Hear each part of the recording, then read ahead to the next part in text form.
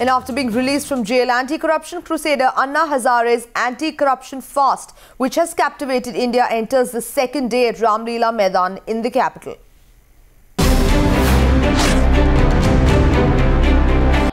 आए हुए सभी भाई बहनों का बच्चों का मैं हार्दिक स्वागत करता हूं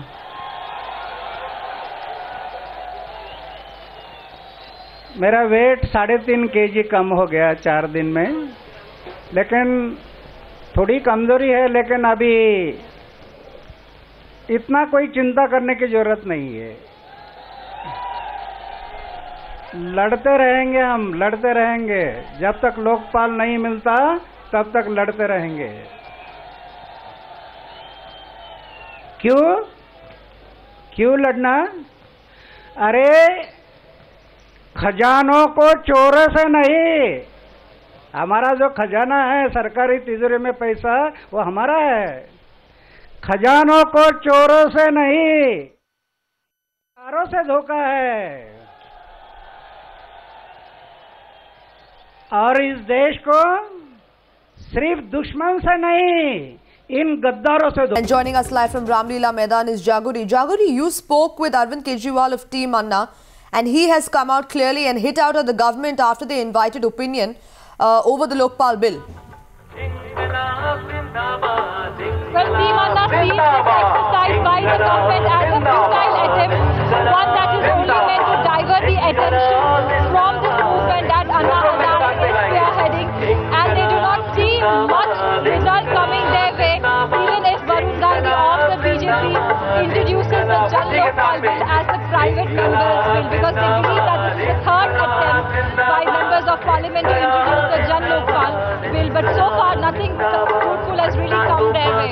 Also, Arvind Kejriwal saying that Anna Hazare is in perfect health and he's raging to go on as he leads this movement. Also given a clear warning to the government that in case they want to force feed Anna Hazare, in case his health deteriorates, he will even give up water.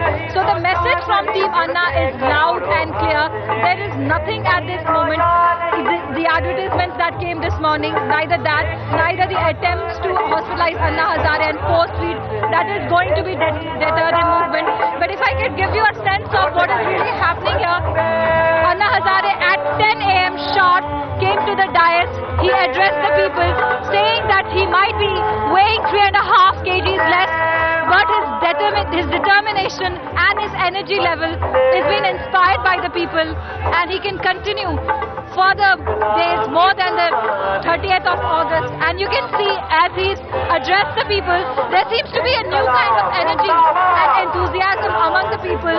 They are cheering loudly as the song goes on. That's a song that has been composed by Nitin Dawar.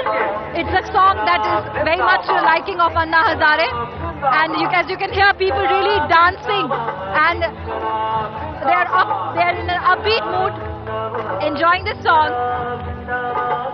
So really, the it's an electrifying atmosphere here at Ramlila grounds as Anna Hazare came to the dais at 10 a.m.